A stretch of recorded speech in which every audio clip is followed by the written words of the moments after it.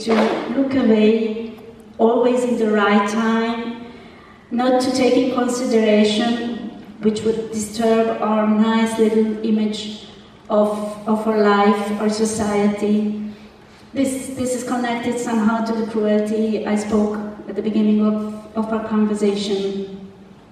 So for me, uh, um, it is it is important to show, um, but not. For example, I didn't put some dramatic music there, and it was very much conscious what I showed from the killing and, and what not. For example, um, the moment when you see the face of, uh, of this cow, um, uh, her last alive moments, it's, um, it's quite long, and for me it was very important. Um, and from the, the slicing and from that um, part when um, a being, an alive being becomes an object, I showed those elements uh, to which we can relate, we humans can relate. We can feel the drama. And for example, there is one part when, when they slice the, the belly and it falls out. And it is just repulsing, disgusting.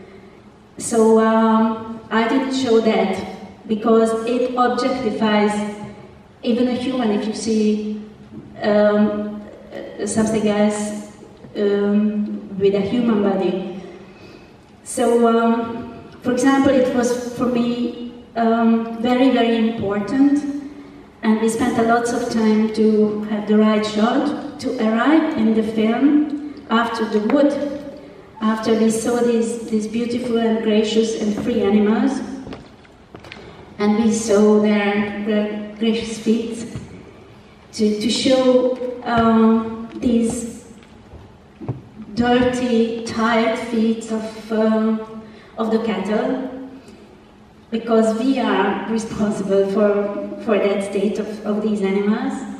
And for example, we built a, a small place for the camera uh, inside the wagon, um, inside the car, because for me it was really important to arrive in the film with them and to be one among them. If you remember well, at the beginning, um, we are following, uh, we see the POV of, of a cow, we see the humans, uh, we don't even see their uh, face, their head, they are just objects there, and their chit chat is, uh, is also, it's like just some noise. So um, after that, this cow looks up. Uh, she looks at the rising sun. It's early morning. And after that, Maria uh, at, at the railway station is also looking up to the sun, and Red as well. They are together. So these tiny things were, for me, um, really important. There are tons of that, but we would stay here until morning if I tell. Next question from this side. Thank you for your film. Thank you, and but I have one serious question. Why the suicide scene is more lucky than the final love scenes? It's more what? More lucky, more so more nudity. Uh, more nudity? More nudity. Ah. Uh, uh, there is just one uh, shot when we pan up from her wrist to her face when we see her breast. Otherwise, we don't see uh, any real nudity. And um, I was wondering um, to cut it or not, uh, because I didn't need it in that scene. But when you see uh, in a film death or serious illness, These are moments generally when you wake up somehow from the magic of the film. You say, yeah, okay, they don't kill the actress for sure. I am sitting in a cinema and I'm watching a film. It pushes you out generally from, uh, from the film. And if you see a cut, you immediately think, oh yeah, um, they made it with uh, uh, visual effects. Sure, we made it visual effects. it, it wakes you up even more. So somehow I wanted to be the spectator there together with, with Maria. And um, that's why this pen is not um, cut into, because immediately then it, it's a reaction. I think everybody is, is consuming so many um, moving pictures that uh, everybody, everybody is, is a film language specialist uh, and very fine-tuned specialist. So from the perspective, from the editing, from many, many sides, um, you can understand um, sometimes much better than, than the intention of the director what uh, those scenes uh, represent. So that, that was the reason. And the love scene, it's it's, it's a huge, huge jump into the void. It's, um, it's not some erotic scene. It's perhaps in two months or in two years it will be erotic. Now it's first of all this big act of um, of of daring, daring to open up to the other person. That was my intention at least. Next question from this side. Good evening. Uh, actually, I was uh, at a screening of uh, Simon Magus 18 years ago, and I'm oh glad that you're doing well very much. And uh, you doesn't age much too. you still look very young. Thank you. You're welcome.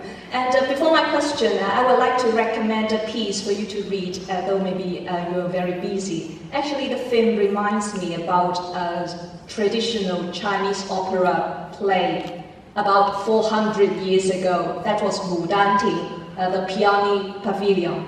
The male lead and the female lead also meet in dreams, and they uh, fall in love, and they have a relationship in the dream. But when the female lead uh, wakes up, uh, she also pursues death, but uh, not intentionally. She um, actually is heartbroken to death. But uh, afterwards, she also revives to birth again and then marries the male lead. And I think it must be very interesting for you to read. Yes. Thank, thank you so much. Just an hour ago, I, I heard about it. So we have the same view. And uh, my question is, um, uh, I remember vaguely about uh, Simon Magus. Uh, it should be a tender love story, also between uh, an, an older man and a younger girl, and also this thing. Do you personally uh, like the relationship between an old man and a young girl? well, my husband is one year older than me. so it's it's, it's, it's rather a coincidence. Um, anyway, uh, I, I have an experience.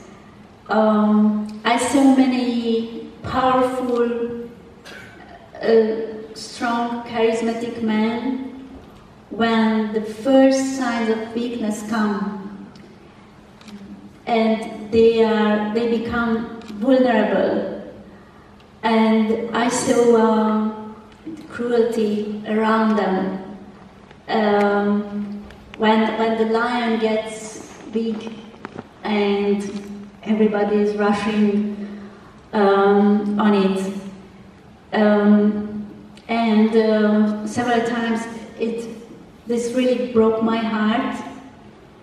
And I somehow I wanted to, to show a, a hero, a really vulnerable hero, uh, somehow it made me remember, um, you know, in, in Spain in a corrida, when there's the bull um, alive and ready to fight, but the neck is already full of these picadas and is bleeding and it's disoriented and it's it's heartbreaking. And I saw humans, wonderful humans in that state and I thought it's good to show such a such a hero as a hero of a love story because it's okay it's a romantic love story if you want but these these two people are so far from any romantic ideas that um,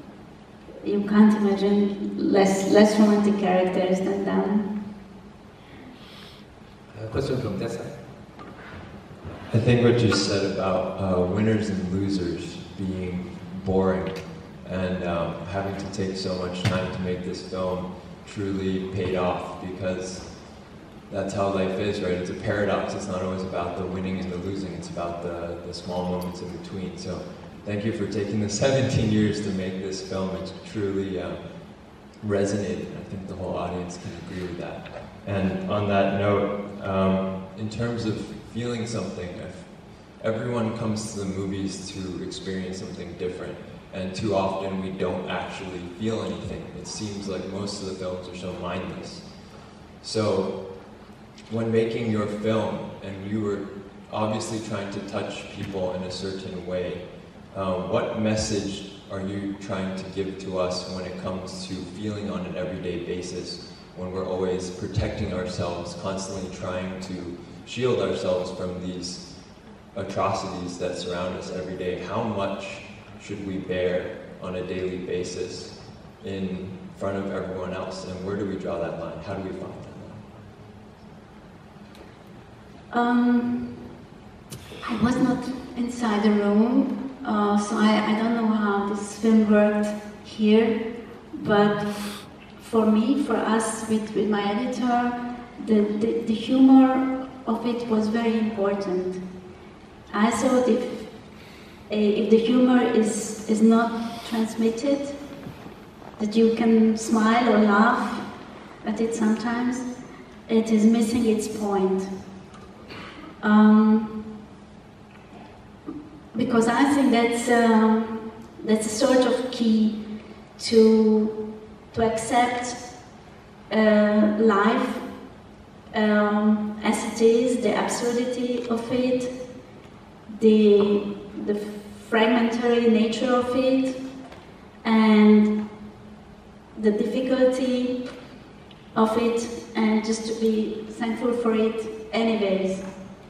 Um, so that, that, that, that was my intention, not to tell anything to you, but just to invite you to a sort of emotional roller coaster, what we were building with my crew, with my wonderful colleagues together.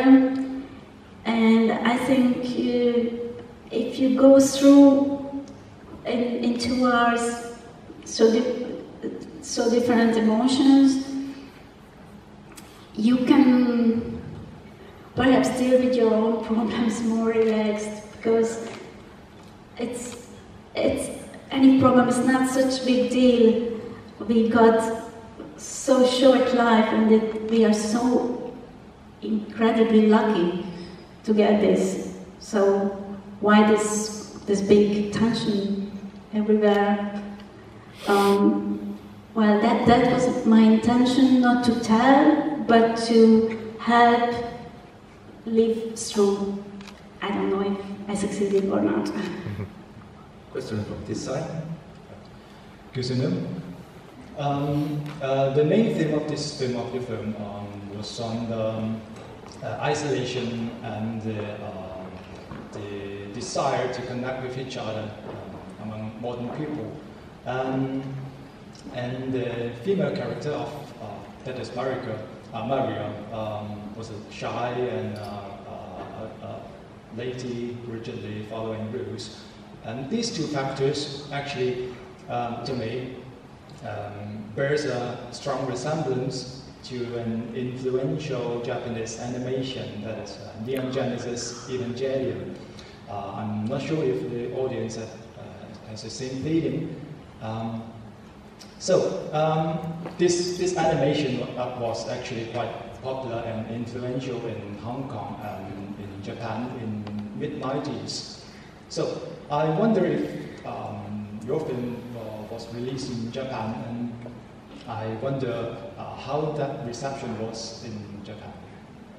Um, the film is not yet released uh, anywhere except Hungary. It's uh, very fresh yet, so uh, I think it, it will be the autumn. Uh, tell me one more time the, the name of this. Uh, Neon Genesis Evangelion. Okay, I, I will watch it. Uh, both both uh, the female characters are both uh, uh, shy and uh, falling real rigid. Uh, I am To follow on it, actually, the, the, the actress that plays Maria uh, is from the theater, right? And she's experienced. But while the actor, is it uh, the first time he acted in film, right?